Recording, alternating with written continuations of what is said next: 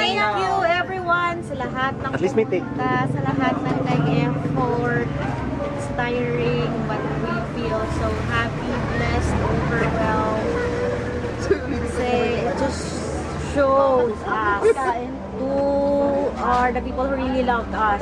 Kasi kahit sobrang pagod, sobrang busy, you guys really took time to be with us. So, thank you for sharing this event with us. Thank you dahil it, yeah, it served us an instrument for, for us to be here united. Salamat. Yung gift, di ba? Ayaw. Ah, Second time. gift. Ah, you sobrang talaga. Oh, pinupush nila ako.